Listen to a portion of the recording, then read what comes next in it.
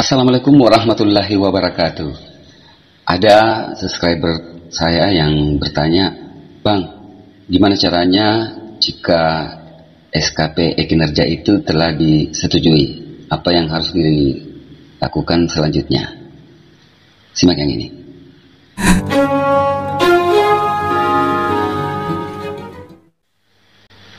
Pertama-tama, saya sarankan kepada teman-teman agar membuat SKP terlebih dahulu secara manual ya dengan menggunakan format Excel agar dapat memudahkan teman-teman dalam menginput atau mengupload SKP di dalam kinerja.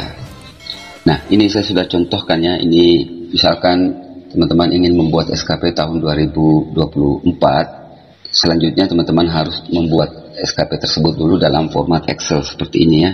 Lalu teman-teman tinggal mengcopy paste nanti di dalam akun eh, kinerjanya. Nah, ini contoh ya SKP saya. Saya sudah bikin eh, rencana hasil kerjanya, kemudian ini aspeknya, ini indikator kinerjanya dan ini targetnya. Selanjutnya teman-teman masuk ke Google ya. Nah ini tampilan SKP yang sudah disetujui. Untuk melihat bagaimana membuat rencana hasil kerja, itu silahkan nonton video saya yang, yang ini ya, yang di atas. Khusus hari ini kita akan membahas tentang bagaimana cara mengisi penilaian setelah SKP Anda disetujui oleh atasan langsungnya. Ini tampilan SKP ya yang sudah disetujui di sini tertulis ada persetujuan. Kemudian di sini ada detail SKP, matriks peran hasil dan ini penilaian. Baik kita langsung uh, klik saja yang ini ya penilaian. Nah setelah terbuka jendela seperti ini kita perlebar dulu ya dengan mengklik uh, garis tiga yang di atas ini, klik yang ini jadi tampilannya menjadi lebar ya. Nah selanjutnya teman-teman langsung klik saja yang ini, tambah periode penilaian. Nah, kalau sudah terbuka jendela tambah periode penilaian, klik yang ini, ya. teman-teman pilih di sini periode penilaiannya. Nah, pilih yang ini ya, yang bulan Januari. Oke, klik yang ini lalu oke. Okay. Kalau sudah terbuka seperti ini, di sini ada bulan Januari ya, periodenya 1 Januari 2024 sampai dengan 31 Januari 2024. Batasnya 15 Februari 2024. Artinya di sini tanggal ini teman-teman wajib menginput sampai sebelum sampai tanggal ini teman-teman wajib menginput rencana hasil kerja dan pengisian bukti dukung dan lihat hasil. Oke, langsung masuk ke di sini ya. Klik yang ini yang merah, rencana aksi. Setelah terbuka seperti ini, nah kita scroll ke bawah ya. Seperti ini. Ini saya sudah bikin rencana aksinya ya, sudah jadi teman-teman. Kalau sudah ada tulisan seperti ini, ini sudah jadi rencana aksinya. Oke, saya contohkan ya, saya hapus dulu yang ini. Oke. Saya hapus ya. Nah, seperti itu. Jika teman-teman belum pernah menginput rencana aksi, maka tampilannya nanti akan seperti ini ya. Cuman ada tombol tambah di sini. Oke, saya hapus lagi yang ini, ya. Kemudian yang ini saya hapus. Oke, saya contohkan dua saja ya teman-teman. Cara menginput rencana aksi. Teman-teman klik yang ini, yang tombol tambah ini, klik yang ini. Lalu kemudian untuk rencana aksinya di sini diketikkan di sini. Tetapi saya kan sudah mempersiapkan file Excelnya, jadi saya klik file Excelnya di sini. Nah, saya masuk ke sini ya. Nih, rencana aksi untuk RHK yang pertama dan ini realisasi dan bukti dukungnya. Oke, saya klik di sini lalu saya copy di sini ya.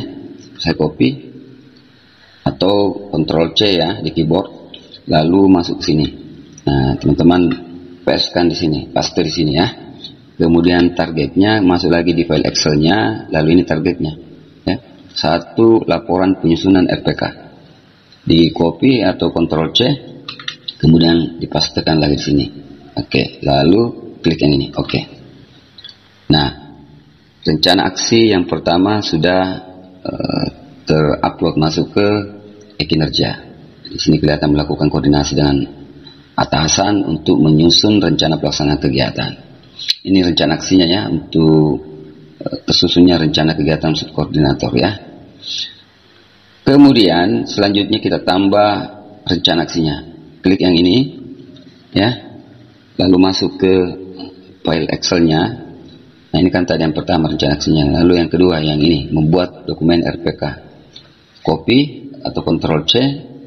Lalu kemudian klik di sini lalu paste ya dan targetnya di sini kita masuk lagi di sini. Ya ini satu dokumen. Ini yang di copy lagi teman-teman ya.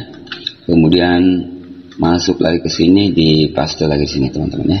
Lalu klik yang ini. Oke. Okay. nah sudah dua di sini rencana aksinya ya teman-teman. Yang pertama membuat dokumen. Yang kedua melakukan koordinasi dengan atasan untuk menyusun rencana pelaksanaan kegiatan Selanjutnya untuk rencana hasil kerja yang kedua terlaksananya pemeriksaan pengawasan kualitas air. Rencana aksinya di sini tambah ya.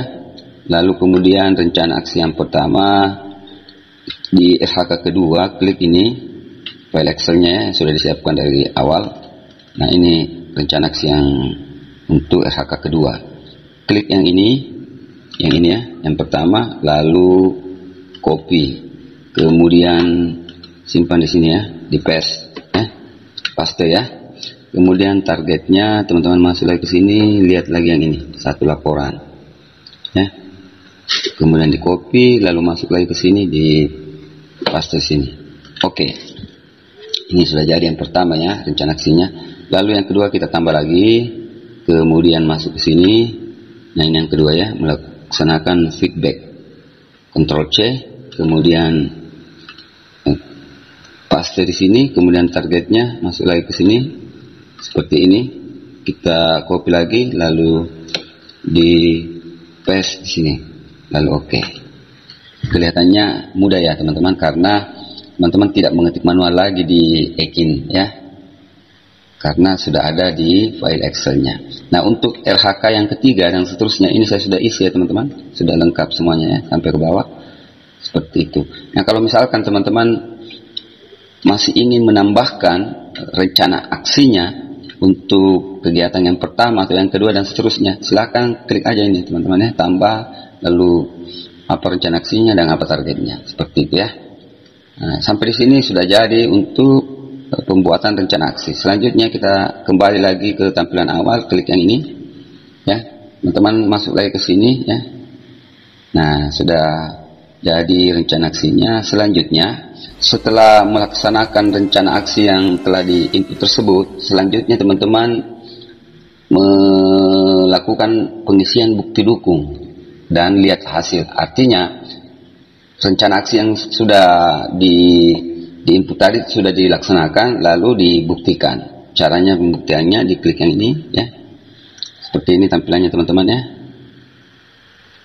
Eh, lalu kemudian eh, scroll ke bawah, tarik yang ini Ya, nah di sini kelihatan bahwa rencana hasil kerjanya yang ini, kemudian rencana aksinya yang ini teman-teman, kemudian aspek indikator kinerja individunya yang ini, kemudian ini target tahunannya ya teman-teman, seperti itu.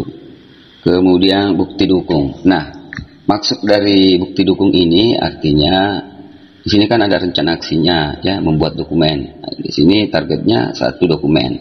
Nah, buktikan dokumen tersebut, dokumen yang mana yang satu tersebut. Nah, sekarang klik yang ini, tambah. Nah, bukti dukungnya apa ya? Coba kita lihat tadi, misalkan bukti dukungnya adalah e, membuat dokumen RPK. Jadi, teman-teman copy saja ini ya, lalu klik sini, baru masukkan ke sini.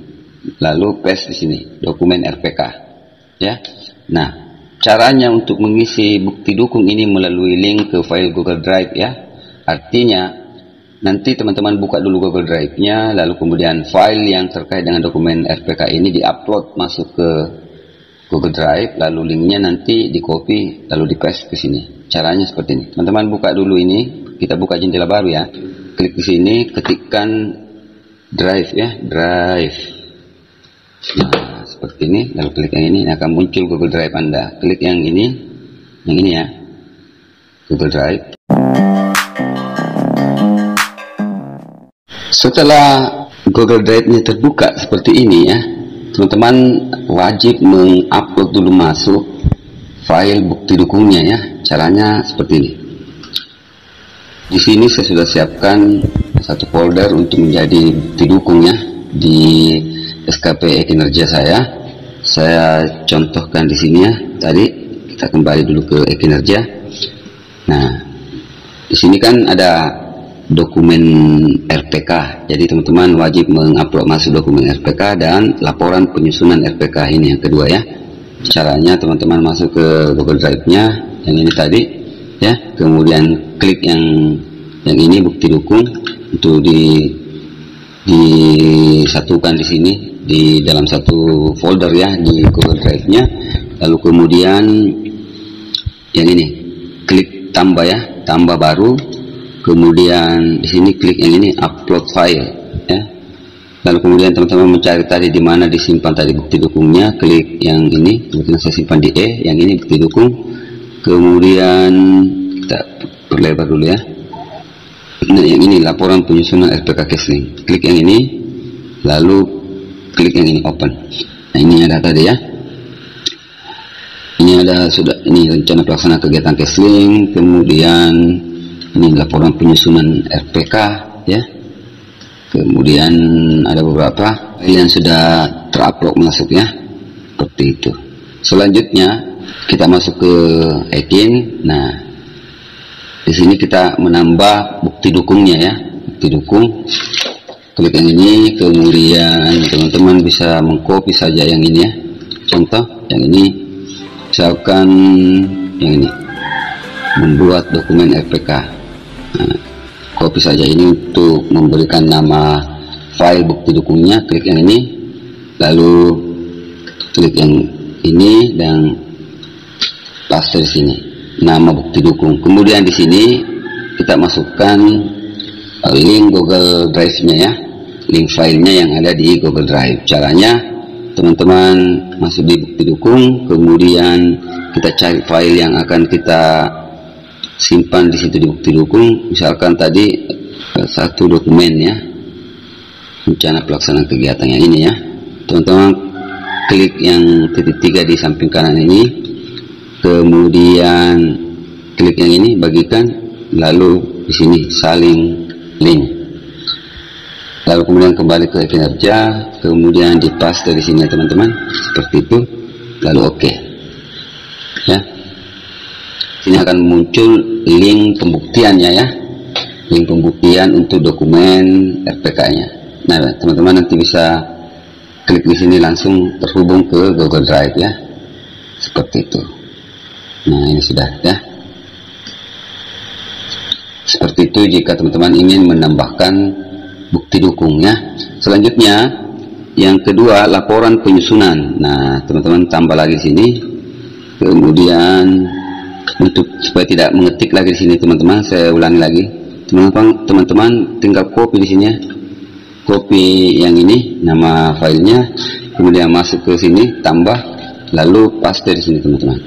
Nah selanjutnya teman-teman tinggal masukkan link Google Drive untuk laporan penyusunan RPK nya caranya seperti tadi ya. Teman-teman masuk di bukti dukung kemudian cari laporan penyusunan RPK yang ini ya teman-teman. Klik titik tiga yang ini kemudian ini bagikan lalu masuk ke sini saling link. Setelah itu kembali ke kinerja lalu dipaste di sini linknya ya. Lalu oke okay. seperti itu.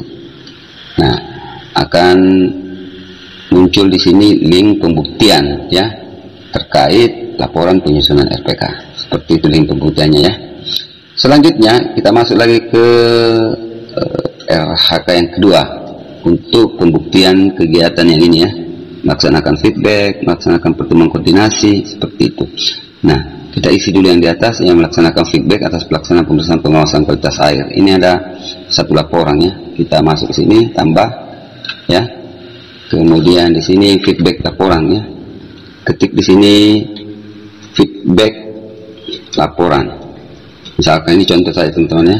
Lalu eh, link linknya teman-teman masuk ke dukung kemudian kita cari di sini laporan pendamping ini feedback ya feedback nah teman-teman sini kemudian ini saling link masuk lagi ke kinerja lalu paste di sini lalu oke okay, teman-teman jadi sangat mudah dalam membuat atau mengisi uh, link pembuktiannya caranya seperti itu. Jadi nanti pimpinan uh, Anda akan mengontrol melalui akun mereka ya. Nah, dan di sini dia langsung bisa melihat hidupnya seperti itu ya. Gimana tadi? Ya, di sini lagi ya. Ini ada melaksanakan pertemuan koordinasi. Nah, ini ada satu laporan, teman-teman tambah lagi bukti dokumennya ya. Ini di sini laporan pelaksanaan koordinasi ya. Contoh. Kemudian teman-teman masuk ke pembuktiannya ya. Laporan pelaksanaan sorry sini rapat koordinasi ya seperti itu.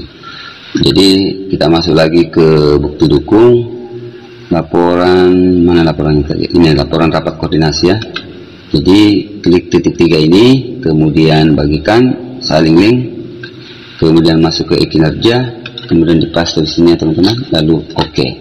oke okay lagi. Nah ini sudah jadi semuanya teman-teman. Nah kebetulan yang di bawah ini saya sudah isi semuanya teman-teman ya. Nah kalau masih ada yang ini kayak kosong mau ditambahkan silahkan ditambahkan. Caranya seperti itu teman-teman. Jika sudah punya filenya ya input dulu atau upload dulu masuk ke Google Drive di sini ya. Jadi Google Drive Anda itu uh, bikin dulu satu folder kayak ini ya teman-teman. Nah saya di sini bikin foldernya bukti dukung SKP 2024 lalu di dalamnya ini kita upload masuk semua file-file yang dibutuhkan untuk pembuktian jadi nanti pada saat di input masuk ke e-kinerja ini ini sudah lebih memudahkan ya teman-teman dalam uh, penginputan tidak mengetik lagi dan seterusnya tidak mencari lagi dan seterusnya seperti itu nah jika semua pembuktian sudah selesai ini artinya kegiatan teman-teman di bulan Januari itu sudah selesai ya. Nanti kalau misalkan ada yang mau yang diedit di sini realisasinya silakan edit di sini ya seperti ini teman-teman ya.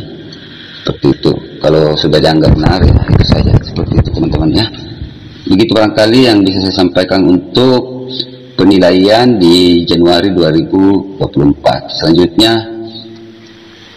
jika Selanjutnya kami akan uh, tampilkan nanti atau perlihatkan video terkait untuk penilaian bulan selanjutnya. Itu barangkali yang bisa saya sampaikan. Jika teman-teman menganggap uh, video ini bermanfaat, silahkan subscribe, like, dan share ke teman-teman agar informasi ini dapat diketahui oleh teman-teman yang membutuhkannya. Terima kasih. Assalamualaikum warahmatullahi wabarakatuh.